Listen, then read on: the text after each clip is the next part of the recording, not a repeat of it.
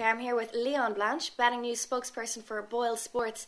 Leon Champions League, it's the knockout stages now. Chelsea taking on Juventus. It's going to be tough, but it's an away game for Juventus. So, how do you think it's going to fare out? Yeah, it certainly is going to be a close game. Um, there's a lot at stake here in the Champions League, Nicola. We're down to the last 16, and no team wants to be out of it before the second leg comes along. However, Chelsea have got off to a great start under Gus Hiddink. Uh, they beat Aston Villa 1 0 yeah. away from home, which was a massive, massive win. It's given the whole club, I'm sure, them, a lot of confidence.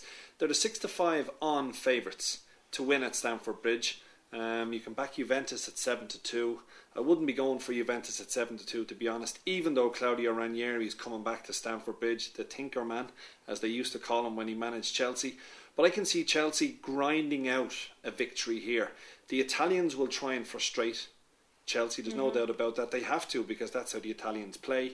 But I just feel with Drogba and Anelka starting to get to know each other a little bit more. I just have to go with the home win here. And I can see Chelsea not scoring a lot of goals because they won't want to concede. It's imperative that the home side keeps a clean sheet if you want to go further in this competition. I fancy Chelsea to win, and I fancy a 1 0 scoreline, mm. Maybe a 2 0 scoreline. There won't be a lot of goals in this game because it will be very tight. But as I said, Chelsea for me just to edge out Juventus. And then also another big game Liverpool taking on Real Madrid. Do you think Liverpool are going to improve now Gerrard's back?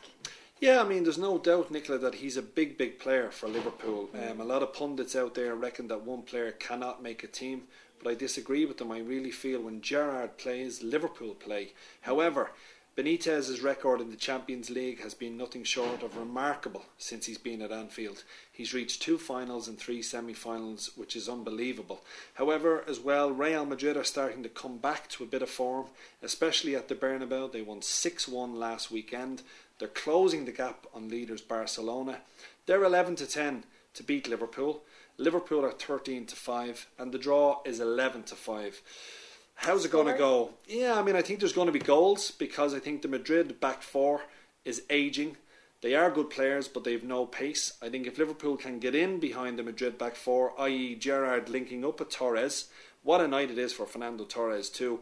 Going back to Madrid to play against his arch rivals as a young lad growing up. He played for Atletico Madrid. I think Torres will score at the Bernabeu. But I also think Real Madrid might score. And I was going to go for a Liverpool away win, but now I'm not. I'm going to go for a draw, a score draw. 11 to 5 for me is the value bet.